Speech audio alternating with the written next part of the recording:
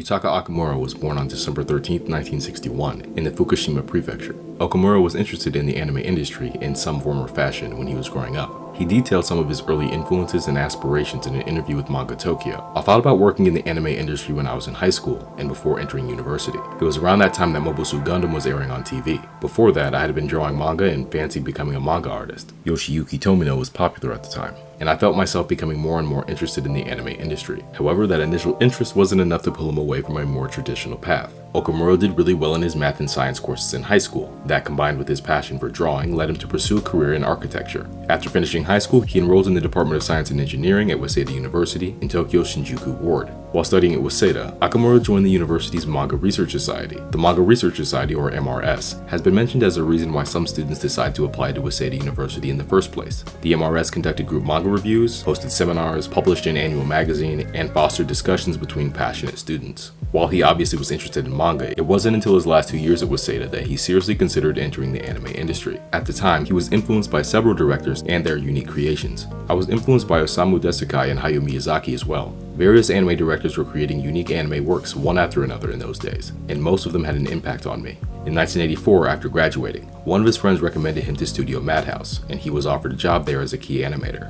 His first project with the studio was Lensman Secret of the Lens, a movie based on Edward Elmer Smith's Lensman novels. After his work on Lensman, Okamura tried to gain experience in areas that weren't related to animation. Even though he was an animator, he wanted to try his hand at directing from the beginning. I was thinking about directing from the start, to be honest, I thought I would be fine if I could draw decent pictures. I was constantly going on to everyone about how I would love to make a storyboard. That's how I sowed the seed for becoming a director. It didn't take too long for him to get his wish. At the time, Madhouse was involved in several small projects, and Okamura worked on a storyboard for one of them, but he's not even sure if the anime was actually completed. While he worked on several movies and OVAs while working at Madhouse, he decided to leave and continue working as a freelance animator. As for why he left Madhouse, it may have been because of the rigid structure. When he worked there, the most important thing was following the orders of your superiors, which obviously would put limits on your ability to create. In 1988, he worked on his first project outside of Madhouse as a key animator for the film Legend of the Galactic Heroes, My Conquest is the Sea of Stars. He would build his resume as an animator on several popular films of the late 1980s and early 1990s, such as My Neighbor Totoro, Urusei Yatsura, Always My Darling, Ninja Scroll, and Ghost in the Shell. His first opportunity to serve as a director came in 1989 when he directed an episode of Yawara, a fashionable judo girl, which adapts Naoki Urasawa's Yawara manga series. Shortly after he finished his work on Yawara, Okamura decided that it was time for a change, and in 1991, he changed his name from Yutaka Okamura to Tensai Okamura. The first television project he worked on outside of Madhouse was Production IG and Ashi Productions' Blue Seed in 1994. Just one year later, in 1995, Okamura made his full directorial debut in Memories, which is a science fiction anthology film. He directed the second of three short films that made up the anthology, Stink Bomb. Interestingly enough, the portion of the film that he directed was produced by none other than Madhouse Studios. While I'm sure that he was grateful for the opportunity, Okamura wasn't actually supposed to be the director of Stink Bomb. At the time, I was working for Madhouse Studios, and Mr. Otomo came up with the Memories project. Originally, it was Yoshiaki Kawajiri who was supposed to direct Stink Bomb, but for some reason, he was forced to refuse. Since I was there and working with him, I inherited the project, so it was a fluke. Over the next several years, Tensai Okamura will work on some of the most influential anime of the late 1990s. He's involved with episode direction, storyboards, and animation in the 1995 classic Neon Genesis Evangelion, and worked on storyboards for another classic anime in 1998, Cowboy Bebop. In 1999, he would get his next big job as the director of Medabots, and the following year, would get another job as the director of Android Kikaider, the animation. Okamura's directing, artwork, and storytelling abilities, like any other set of skills, would develop with time and practice. The thing that he focuses the most on is creating a memorable experience for the viewer. I want to create a work that sticks in the viewer's minds. That's why I intentionally leave some parts not fully explained. I want viewers to use their imaginations for detailed parts and enjoy the process. Other than that, I try ensuring that my works are easy to understand. He was able to learn a lot from his past experiences, and working with multiple teams and directors helped him to learn different ways of doing things. In an interview with Anime News Network, he explained, So in the case of Yawara, I watched how other people in different positions worked on the job. That's how we all learned. In the case of Cowboy Bebop, there was a totally different kind of agenda, so that was difficult. You had to go through a planning process for your storyboard, but this was something that I wanted to go through. I really made it clear that I wanted to work on this job, on this particular episode, that kind of thing. In the case of Mr. Anno's Evangelion, when we were working on the storyboard with Anno, we went through quite a few feedback cycles. We might have had a lot of details incorporated into the storyboard, and we bring it to Mr. Anno, and he'd just go cut this and cut that, bringing down to the bare minimum of what we made. We were just astounded that he did that at the time, but back when we worked on Cowboy Bebop, it was completely different. We added a lot of materials and details to the storyboard. and he always wanted us to add more. We were really having fun with it. Mr. Anno's approach on Evangelion was the total opposite.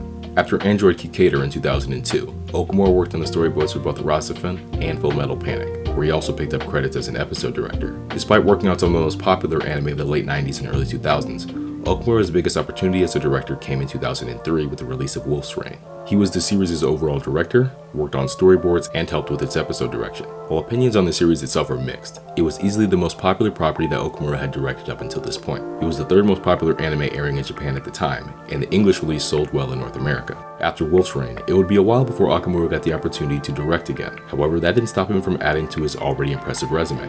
Between 2004 and 2006, he worked on the storyboards for Samurai Champloo, Ghost in the Shell Standalone Complex Second Gig, Victorian Romance Emma, and Ouran High School Host Club before getting the chance to direct Project Blue Earth SOS in 2006. Okamura's next directing job would present him with a brand new challenge, creating an original story. He would be working with Studio Bones in order to create a brand new series that would be released in 2007. He came up with the concept of the series while working on Wolf's Rain.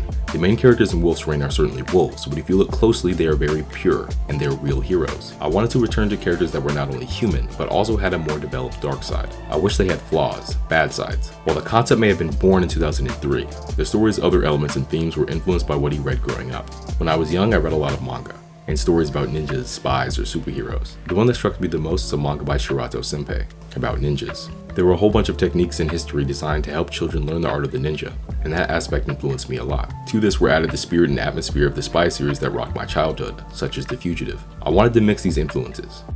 The manga that he was referring to is The Legend of Kamui, it's about a ninja in Japan's Edo period named Kamui. He decided to leave his clan, but they considered leaving to be an act of treachery and tried to hunt him down. The story follows Kamui as he travels across Japan trying to survive. He was also influenced by 1970s television dramas, like An Angel with Many Scars, or Kusadorake no Tenchi, and Manjiro of the Cold Wind, or Kogarashi Manjiro. The story's setting was not only influenced by Okamura's desire to write a spy thriller, but he also wanted to create a story that took place in modern Tokyo, which would actually be a departure from the settings of shows and movies that he usually directs. And in order to accurately capture it, they traveled all over the city to take pictures. And in order to more effectively tell each story, he decided to adopt an unusual episode structure. Instead of having each story come to an end at the end of every episode, stories would be told over the course of two episodes. Please think of it as a one hour drama spread over two episodes.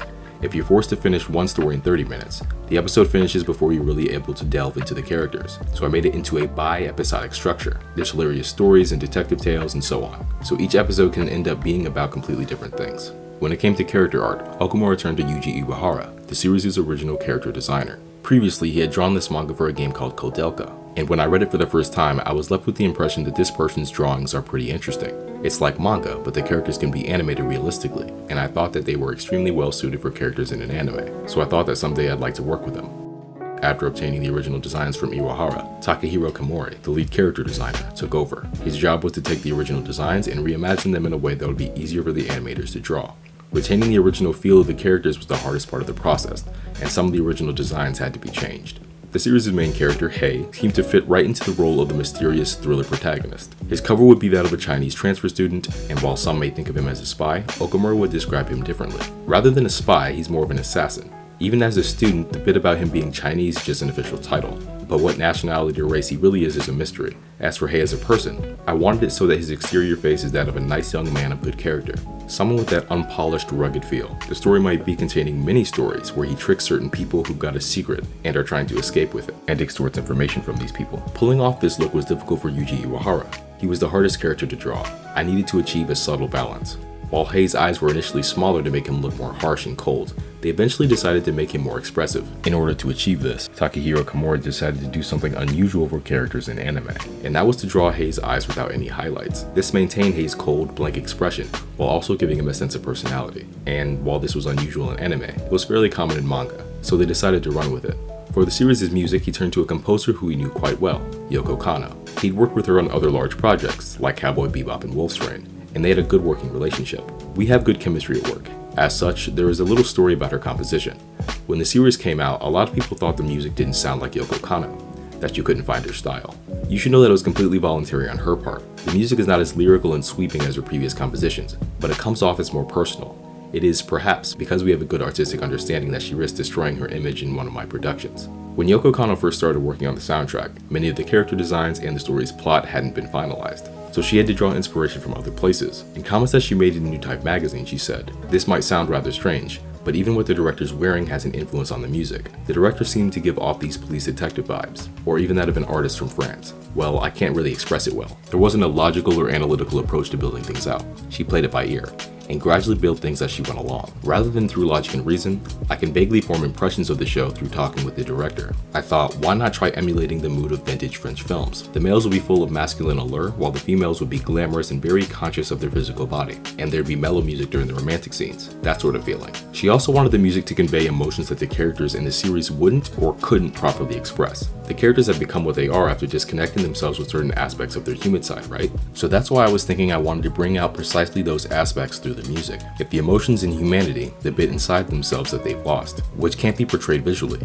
could be seen through the music instead, I had a feeling that it'd make the film all the more impressive. While he was pleased with the final product, this wasn't the sort of vibe that Okamura was initially going for. I actually had requested something like folk music from the 70s, but what she produced was quite like fusion music. It was pretty awesome how, while weaving in romantic tunes and more hard beats, with more muddled sort of stuff, she managed to really expand the worldview of this anime.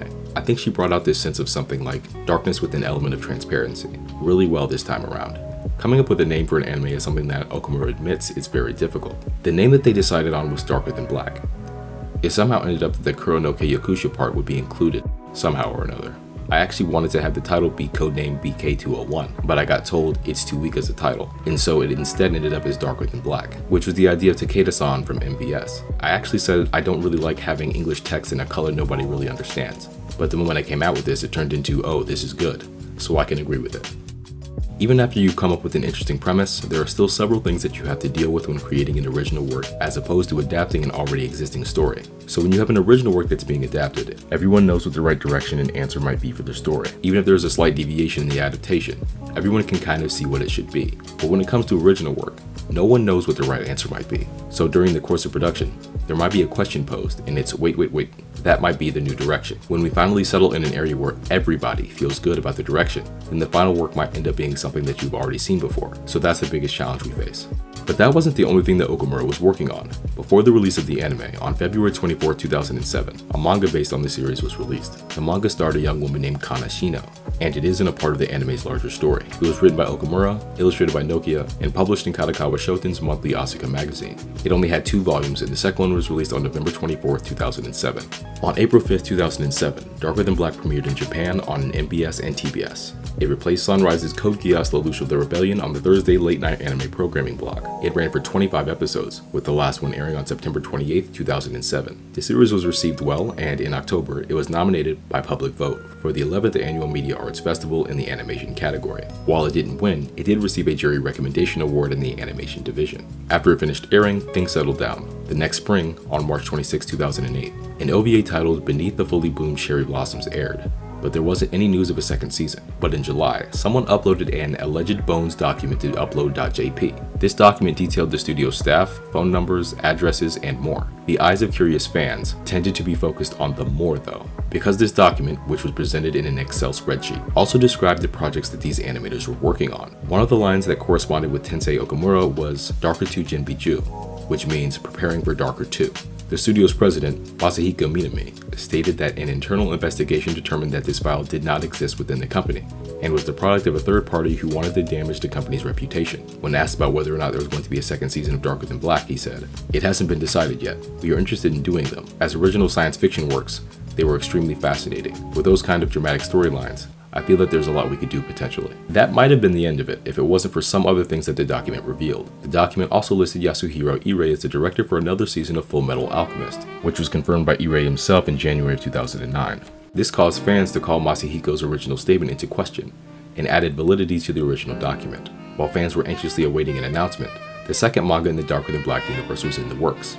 Yuji Iwahara, the original character designer, was in charge this time around. The first volume of Darker Than Black Jet Black Flower was released on May 15, 2009 in Square Enix's Young Gangan.